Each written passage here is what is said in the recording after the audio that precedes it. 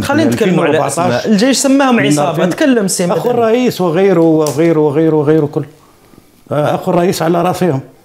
كان يت... كان يكلمكم في الهاتف. يعطيكم أوامر؟ أنا أنا لم أكن في مستوى باش يكلمني انايا ولا يكلم هذاك. فهمت؟ ما كلمته ما كلمني. ولكن ال- الأمور كيف كانت تدار؟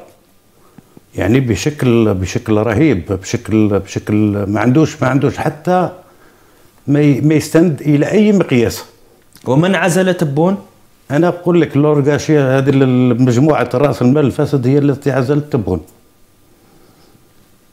أعطيني أسماء. ونقول ونتحمل الاسماء نتحمل المسؤوليه تاعها كمل تحمل المسؤوليه أعطيني أسماء سي مدني. لا شوف ال- ال- الأسماء راني نقول لك هما معروفين.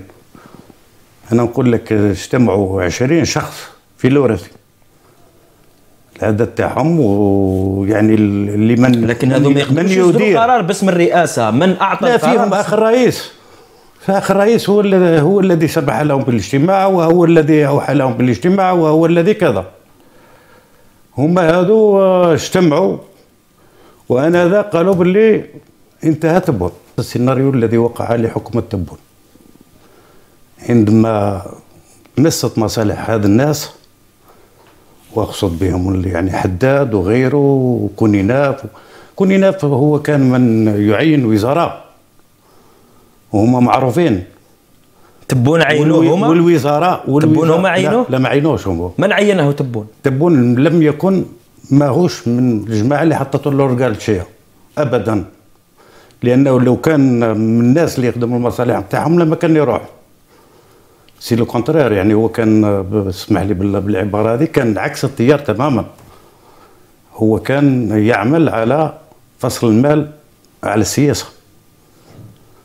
وأنا أعود إلى الوراء قليلا. القضية هذه لم تكن وليدة اليوم بل هي وليدة مجيء عبد العزيز بوتفليقة إلى الحكم أثناء تنصيب الحملة مدير الحملة الانتخابية آنذاك.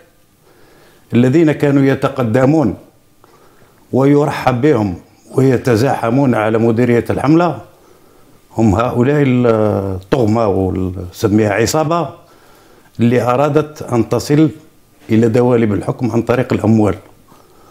وبالفعل يعني كان من بينهم رجل من نذكر بالاسم حداد.